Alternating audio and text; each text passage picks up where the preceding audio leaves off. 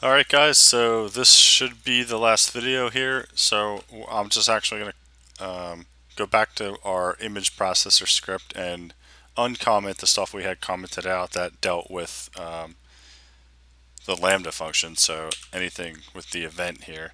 So I'm just uncommenting this and then uh, I had this um, test image on my local machine, so I'm going to comment that out.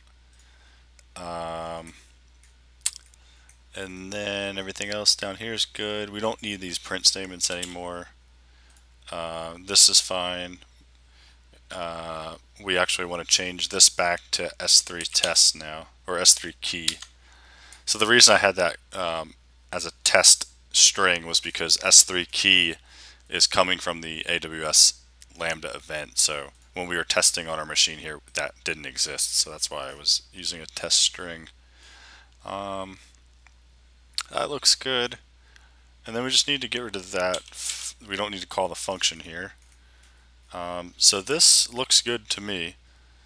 Let's go back to the actual file here and remember we have to bring back all these uh, libraries here and then build the zip file.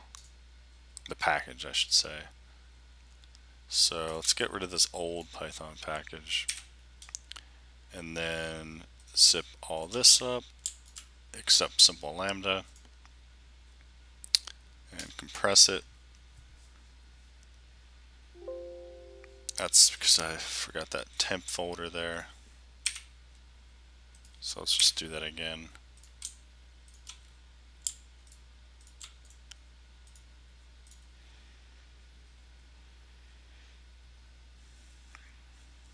All right.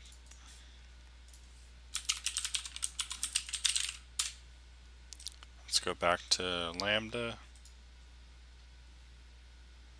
and upload a zip file.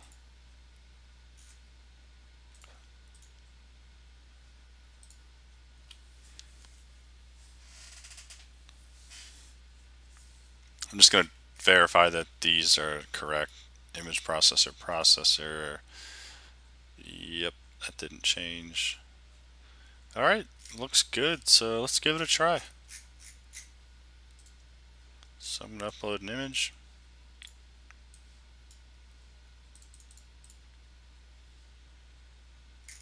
And let's go to monitoring, CloudWatch.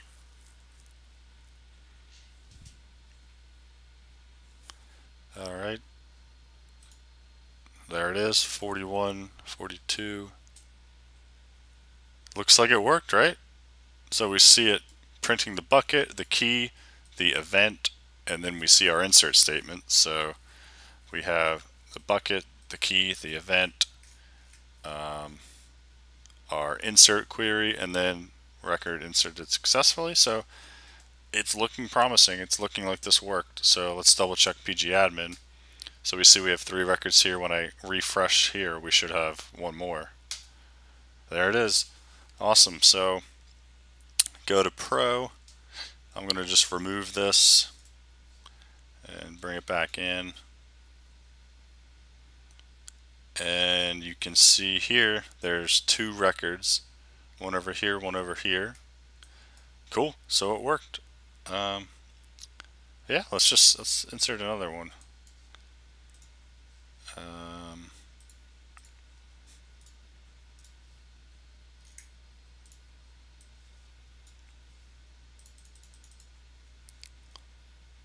Alright, one more time. We'll go to CloudWatch, refresh this guy. A couple seconds we should see a new record. There we go. Uh, so 43, here it is. 327. Go back to Pro. And there we, there we go, we have another record there. Alright guys, that's what I wanted to show you guys how to do. Um, I hope I didn't lose you guys. I hope it wasn't too confusing. Um, sorry about that, that Postgres database mix-up. That was probably frustrating if you, if you were uh, following along there. But uh, stuff like that happens all the time. So just um, hope it was helpful for you guys. Um, yeah, thanks for watching. Uh, let me know if you have any questions or comments um, or any video suggestions. I'm starting to get more into this AWS Lambda, so I'm trying to see what I can do with GIS with Lambda. So um, I'm looking into possibly getting GDAL and OGR, uh, those packages um, deployed in Lambda uh, and, st and, stuff like that. So, um, yep, thanks for watching.